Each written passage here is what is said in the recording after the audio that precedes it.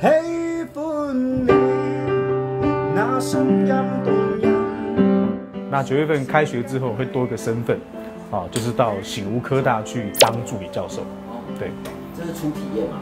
对，第一次第一次当老师。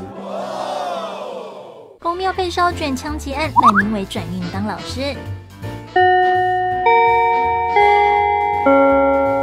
哎哎哎，同学们准备上课啦！星光二班赖明伟受到当年老师邀请，将在醒吾流行音乐科教一百五十堂的声乐课哦。希望就是态度是和善良好的，不然的话我就会唱王心凌的歌给你听，叫《大你的眼睛眯着笑。我身边有很多这个优秀的资源，对，像这个灭绝师太黄小虎，我跟你讲，他的教材你如果不看是会被打的，啊，不是，是是会被纠正的。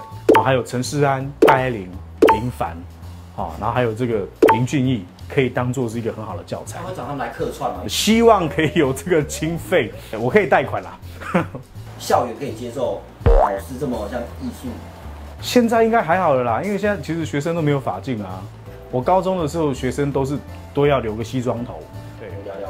小时候比较荒唐的哎，学生岁月吧。对我翘课的经验比较不一样，因为高中有吉他社嘛，跟几个朋友组乐团。那个时候我就是开始在学电吉他，我的范本就是伍佰老师。因为有一场演唱会跟这个学校上课时间冲突，那没办法，就为了伍佰老师，所以就 翘课。对，有同学帮你擦的。我想这个平常的在学校的这个关系一定要打好。讲义没有带，哎，借一下，对不对？书本没有抄到的重点，借抄一下。别看赖明伟轻松聊天，其实这两年他可是雪上加岁。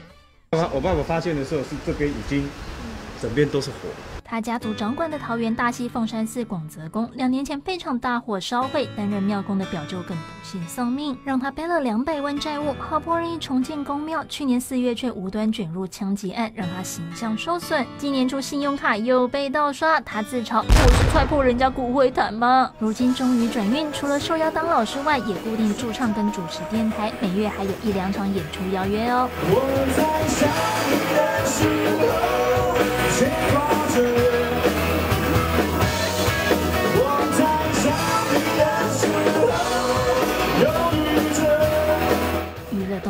报道。